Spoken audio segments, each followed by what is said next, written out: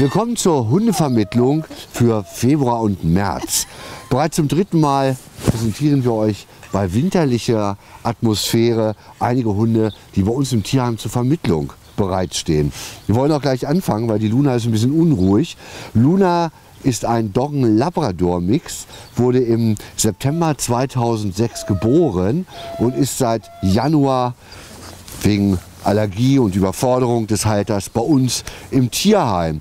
Und weitere Informationen kommen wie immer von meiner urlaubsreifen Kollegin Silke. Ja, warum Überforderung? Du siehst es ja selber auch, ne? sie ist eine wirkliche Dampframme. Also sie hat in ihrem Leben äh, ja, noch keinerlei ähm, Erziehung genossen, also sie ist wirklich null erzogen. Sie ist zwar ausgesprochen liebenswert ist sie. Und, ähm, wirklich anhänglich und lieb zu Menschen, aber sie geht wirklich also, äh, Ja. mit dem Kopf durch die Wand und sie- also sie, sie walzt auch alles nieder, was so im Wege steht. Sie ist sehr, sehr bewegungsfreudig, verspielt, sehr lebhaft, ist auch verträglich mit Artgenossen. auch verträglich mit Artgenossen, aber auch da sehr grobmotorisch und rempelig. Also es müssen schon, äh, ja, so, ich sag mal, standfeste Artgenossen sein. Sie äh, rennt sie halt wirklich über den Haufen. Sie zieht dann alleine ganz schön, ne? Ja, sie ist ein richtiger Leinenzieher. Und sie hat auch richtig und man Kraft. Braucht, ja, und man braucht auch als Mensch wirklich Kraft, sie zu halten. Das heißt, wichtig, äh, dringend an der Grunderziehung arbeiten. Also Leute äh, mit Hundeerfahrung, kräftige Leute, die auch Lust haben, mit ihr zu arbeiten. Sie äh, ist äh, wirklich eine liebenswerte Maus. Sie verträgt sich auch mit Kindern, aber auch diese müssen Standhaft. standhaft sein. Auf jeden Fall standhaft sein. Nach einer gewissen Eingewöhnung kann sie auch ein paar Stunden auch alleine bleiben. Kann sie, sie ist auch autofest, allerdings jagt sie und sie streunt. Also auch äh, Kleintiere sollten nicht im Haushalt sein, auch keine Katzen, also da wird sie hinterhergehen. Sie war ja ursprünglich sehr übergewichtig. Man hat ja hier schon mit ihr stramme Diät gemacht. Die hat ja schon einige Kilos runter. Ein bisschen kann, auch, kann sie noch, Bisschen ne? muss sie, aber langsam muss das natürlich, es geht ja auch aufs Herz-Kreislauf-System, deswegen langsam abnehmen und dann schön Idealgewicht bekommen. Die Luna, Luna guckt schon, wo ist die Mutti, damit ist gemeint die Tierpflegerin, die hat sie nämlich ganz doll lieb.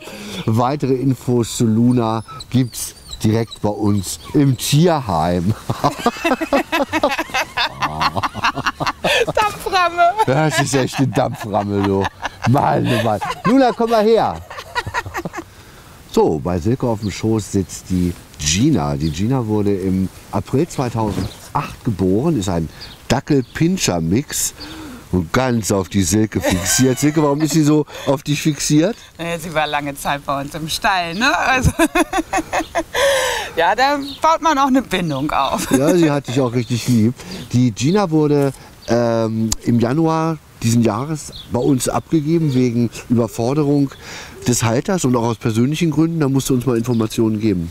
Ja, also ähm, ja, die Gina soll ähm, an, ja, also laut ehemaliger Halterin ähm, alle drei Monate einen Anfall gehabt haben. Wir wissen nicht, wie schwer der gewesen sein soll. Also es soll halt so gewesen sein, dass ähm, wenn man mit ihr oder wenn man sie beruhigt hat, dass dann wieder alles gut war. Sie äh, ist also nicht tierärztlich eingestellt gewesen. Ähm, sie zeigt sich aber hier im Tierheim total unauffällig, obwohl sie ja eigentlich hier ja, Dauerstress ausgesetzt war. Ne? Also das ist ja immer eine schwere Umstellung, auch für die Hunde hier ins Tierheim. Und ähm, hier war kein Anfall in keinster Weise zu vermerken.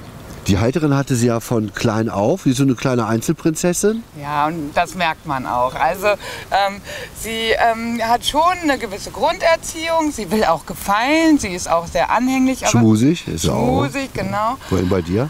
Und äh, ja, aber sie war halt schon, wie gesagt, also so, so ein bisschen die Prinzessin und äh, durfte halt sehr viel, war, denke ich, auch mit, ähm, damit selber überfordert. Denn äh, die Vorbesitzerin erzählt uns auch, dass Kinder gar nicht gehen. Also die droht sie massiv an und die würde sie auch schnappen. Sie läuft am Fahrrad mit, spielt gerne mit Bällen. Ja, total gerne. Also ähm, sie hat halt auch wirklich noch Hummeln im Hintern, ähm, geht gerne spazieren. Ähm, äh, ja, Andere Hunde findet sie doof, ja, den, ignoriert Die sie. ignoriert sie, geht denen eigentlich aus dem Weg. Die, die findet sie wirklich blöd. Und ähm, sie will halt wirklich so ihrem Menschen gefallen. Und ähm, ich denke, wenn man jetzt ähm, Leute findet, die halt ähm, ein bisschen Hundeerfahrung haben, die sie halt wirklich konsequent so durchs Leben ähm, führen, dann ist das ein ganz toller Hund. Sie können auch fünf, sechs Stunden nach einer gewissen Eingewöhnungszeit alleine bleiben?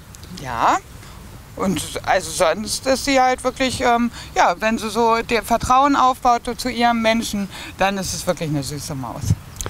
Wir suchen also möglichst hundeerfahrene Menschen, die an diesem süßen Dackel-Pinscher-Mix Gina gefallen finden.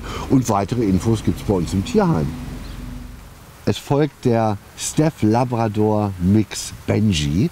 Benji ist neun Jahre alt und äh, der zuständige Tierpfleger sagte, das ist einfach nur ein toller Hund, gerade bezüglich Menschen. Und man sieht das an den folgenden Bildern. Das ist wirklich ein richtig, richtig toller, klitzekleiner Rentner. Ganz kleiner Rentner. Silke, was haben wir denn noch zu? Der ist ja nun seit einigen Wochen bei uns erst im Tierheim. Und du hast gesagt, es ist so ein klitzekleines Sorgenkind. Begründe es mal. Ja, der äh, ehemalige Halter musste ihn leider abgeben aus gesundheitlichen Problemen. Benji hatte ein gutes Zuhause. Er ist ursprünglich mal von uns vermittelt äh, worden.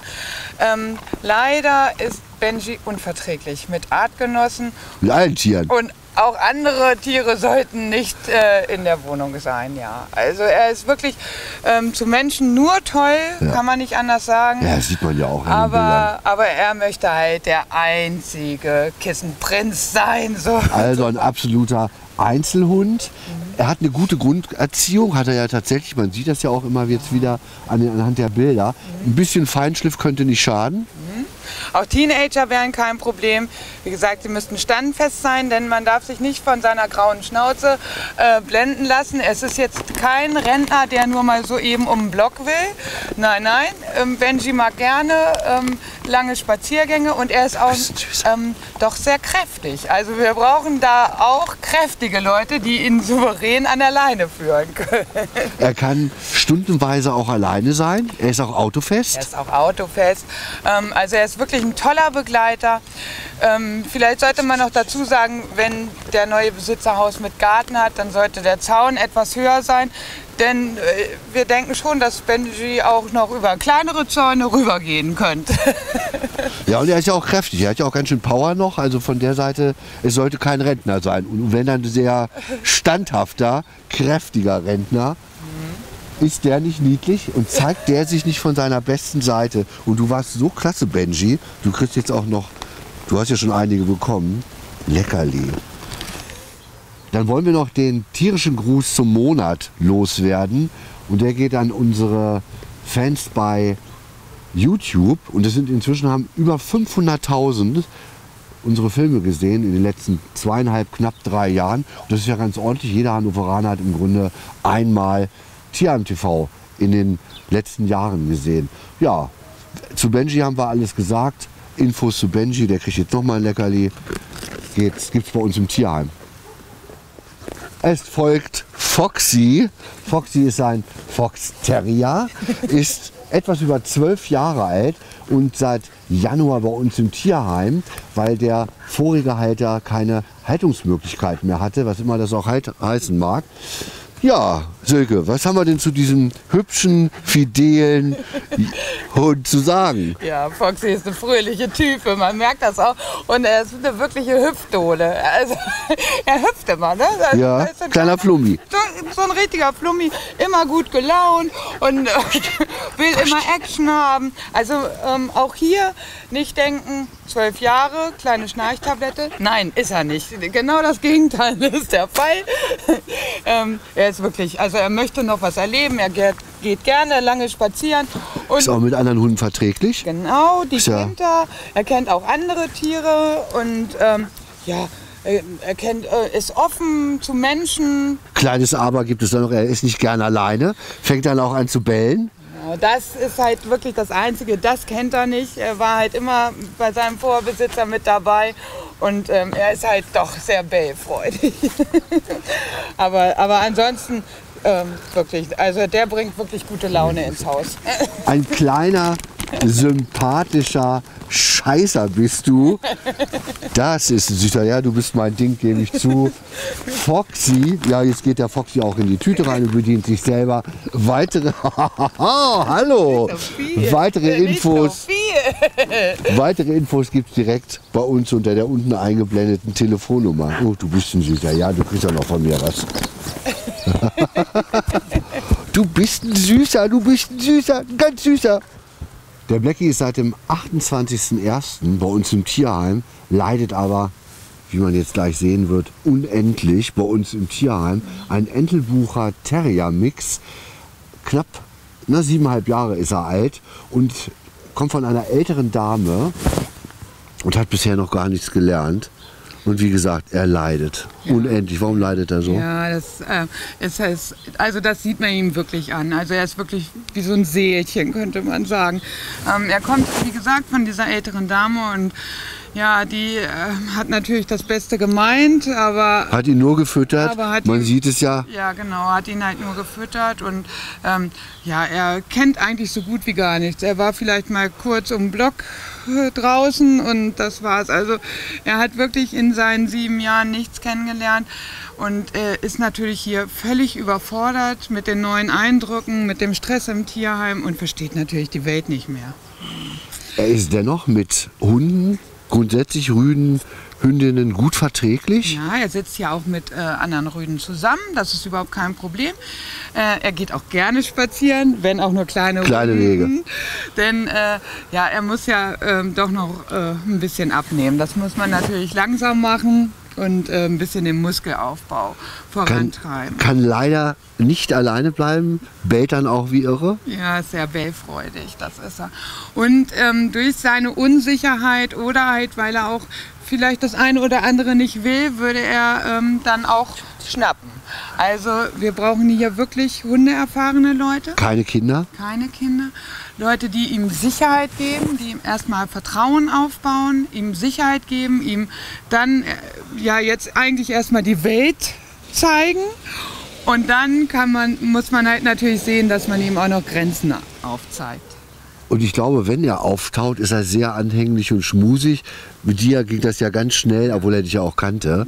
Dann ist er auch wirklich sehr, sehr verschmust. Ne? Ja, also er, er braucht halt wirklich eine Vertrauensperson und dann schließt er sich auch wirklich eng an. Der Blackie, wir würden uns natürlich freuen, weil er wirklich bei uns unsagbar leidet, wenn er möglichst schnell vermittelt werden könnte. Apropos Vermittlung, aufgrund der Hundevermittlung vom Vormonat wurde mein ganz persönlicher Liebling, der Spicy Jagdterrier Mix, nicht vermittelt. Und Ein Mix, echte Jagdterrier Hündin, apropos Liebling. und ähm, der selbstbewusste Nudels, der ist auch noch zu haben.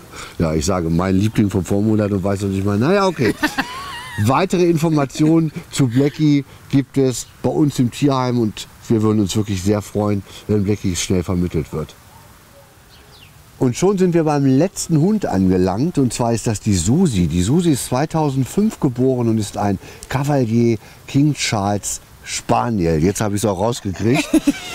die ist seit Anfang Dezember bei uns im Tierheim und kommt von rumänischen Obdachlosen. Und weitere Informationen kommen von meiner bezaubernden Silke. Ja, und ansonsten kann man über Susi eigentlich nur sagen, dass sie, dass sie wirklich bezaubernd ist. Ja, also ganz sie ist, sie ist wirklich sehr lieb, sehr offen. Sie geht auf jeden äh, zu, geht auch mit jedem mit. und eigentlich liebt sie äh, Mensch und Maus. So ein bisschen Grundgehorsam hat sie, so ganz, ganz bisschen. Ja, also sie kann Sitz, sie kann schön sein und sie kann lieb sein. Ich sage ja, ein ganz bisschen hat sie schon. Mit allen verträglich, was haben wir noch? Sie ist mit Artgenossen auch gut verträglich. Ja, ne? also sie wäre auch geeignet als Zweithund. Sie ist eigentlich so ein typischer Mitläuferhund. Ne? Also sie, sie braucht nicht unbedingt einen zweiten Hund, aber wenn er da ist, ist ihr das auch recht. Ähm, so rassebedingt ist die Ohrenpflege, man sieht das ja, ganz wichtig. Ne? Du brauchst auch Ohrenpflege. Ja, genau. Also die, ähm, sie hatte ja auch Probleme mit den Ohren und ähm, das wird wahrscheinlich, ähm, ja, da muss man einfach am Ball bleiben. Ein bisschen Hüftprobleme, altersbedingt hat sie auch schon. Ja, und äh, so manchmal fällt es ihr schwer, die Treppe hochzukommen.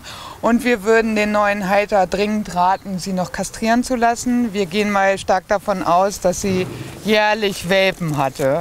Und ähm, das soll sie nicht mehr. Das braucht sie jetzt nicht mehr. Und sie ist so leicht bestechlich. Und das hat ihr so gut geschmeckt. Und deshalb kriegst du jetzt auch noch was Leckeres von uns. Ja, das war die Susi, die letzte Hündin, die wir euch diesen Monat ans Herz gelegt haben. Wir würden uns natürlich freuen, wenn möglichst alle vermittelt werden würde. Noch den Hinweis für die Zuschauer, die uns auf H1 sehen. Am 15.03. von 20 Uhr bis 20.30 Uhr läuft die nächste Kochsendung Tierheim TV kocht vegan. Und am Freitag, den 22.03. von 20.15 Uhr bis 21.15 Uhr könnt ihr die nächste Hunde- und Katzenvermittlung auf H1 sehen. Auf YouTube seht ihr natürlich alles zu jeder Zeit. So, das war's. Wir verabschieden uns. Unsere, meine herzallerliebste Silke fährt übermorgen in Urlaub Ja. nach Spanien und freut sich darauf. Und Auf das 20 Grad. bei 20 Grad und hier nicht im Schnee treiben. Bis nächsten Monat. Tschüss. Tschüss.